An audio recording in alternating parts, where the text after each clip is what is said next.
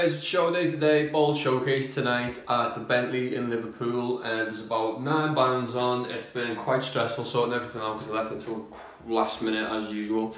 Um, but it's done, it's sorted and I'm good to go, feeling good today. Let's do it. Quick little stop off at the office just to pick some stuff up. For tonight's show, better to be safe than sorry, I always say, with equipment and that featuring my old work shoes is right. Remember when I said I needed to drop that gardening gear off with my friends? I actually didn't do it because I was busy till quite late and then I couldn't be bothered. But but now I'm doing it. I'm here. I'm busy today, but I'm going to squeeze it in because I promised them. So let's do it.